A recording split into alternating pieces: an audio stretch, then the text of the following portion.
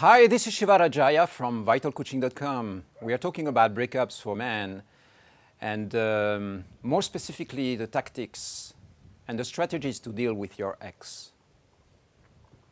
The topic for this specific video is still want to have sex with her?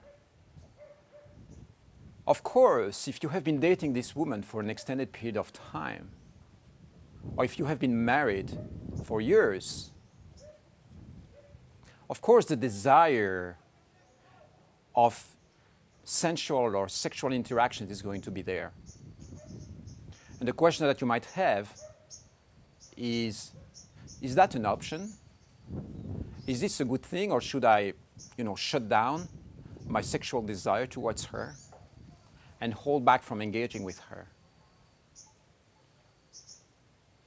And so, what you have to understand is that you have a whole range of possibilities, right? You can, you can break up and still stay really, really close, close to each other. Or you can break up or divorce and never see each other again.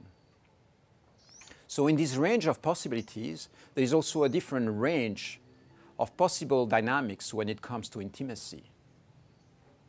You can be, for instance, really kind towards each other, loving each other, taking each other's um, hand when you see each other, you know, kissing, engaging, playing, uh, have a whole range of sensual exchange, you know, that is still, that still goes way beyond friendship.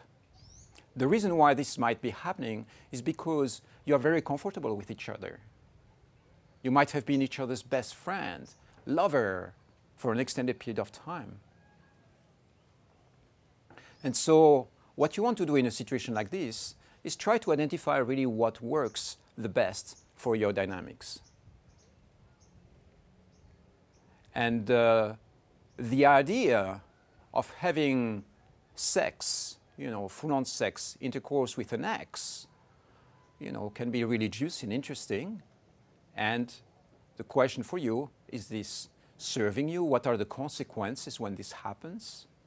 For instance, you might be taken by passion and you end up having wild sex one day, and then the following day you see all these snowballing effects, after effects from having done that.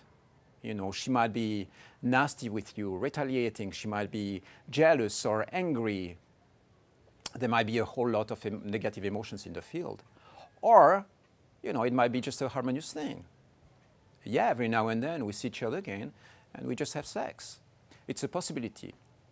And so, in my experience, I think that keeping a, a, high degree of intimacy with your ex is something that can work here and there. It's not something that I recommend as a guideline, you know. It's not like, when you break up, keep on having sex with your ex. No, it's not like that at all.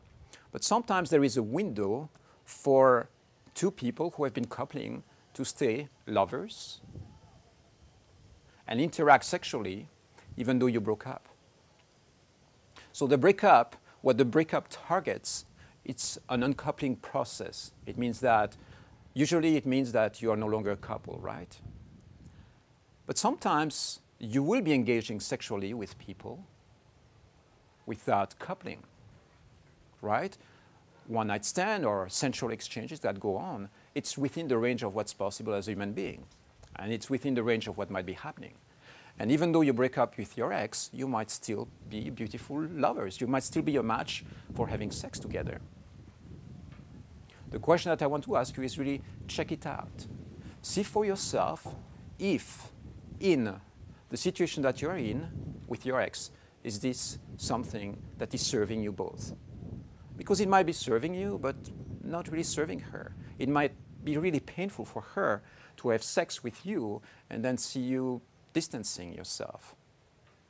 And so it's something that I want you to consciously engage into, bring awareness to it, bring awareness to the dynamics, and rather than engaging just with from a place of passion and fire and desire, just check it out for yourself. Try to identify, try to understand exactly what works for your specific couple. And uh, in my experience, you know, staying sexually active with your, your ex after breaking up, something that might work for maybe 1 to 5% of people on this planet. It's not wide. You know, for most people, you disconnect. Sexually, you are going to be disconnecting. And it's either you or her are not going to be comfortable with the sexual exchange. So the answer to your question is maybe in some isolated cases it can work. It's rare and it can be really challenging. But check it out for your own unique situation. I'll see you soon for another video.